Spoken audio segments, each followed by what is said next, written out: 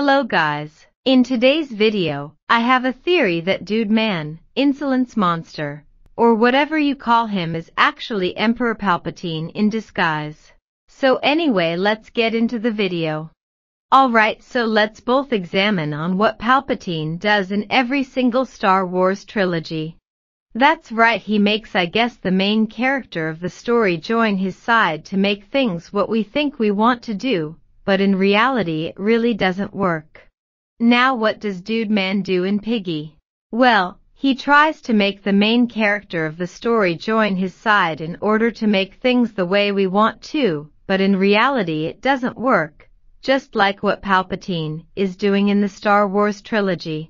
Now if this theory is correct then does Piggy take place during Star Wars? Does that explain what year Piggy takes place? I don't really think this theory is correct. I think this theory might be wrong, because I just don't really see it happening. But anyway that is it for the video. Be sure to like and subscribe with post notification on, and use star code ALTON when buying Robux or Premium. And that is it for the video. Bye.